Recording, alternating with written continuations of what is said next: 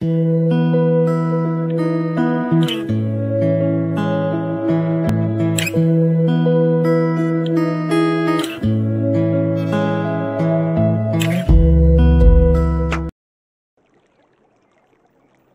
e entregue-se a Deus, com todos os seus espinhos e aflições. Ele lhe ouve e ajuda. Confie que a graça e a presença de Deus estão contigo, agora mesmo e onde quer que você vá. Louve. Apesar da aflição, creia que em Jesus Cristo há alívio para todo o sofrimento.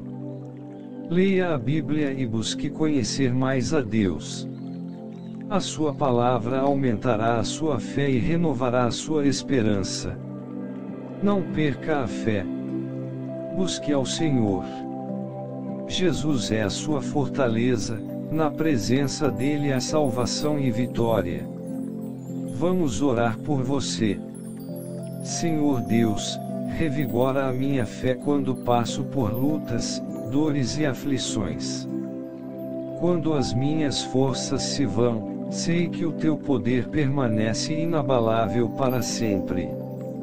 Segura firme a minha vida e me sustenta, Pai. Me abraça e me consola, quando tudo está difícil, pois só tenho a Ti, meu Deus. Molda a minha vida com o teu querer e me ensina a confiar, que a tua graça me basta. Em nome de Jesus, Amém.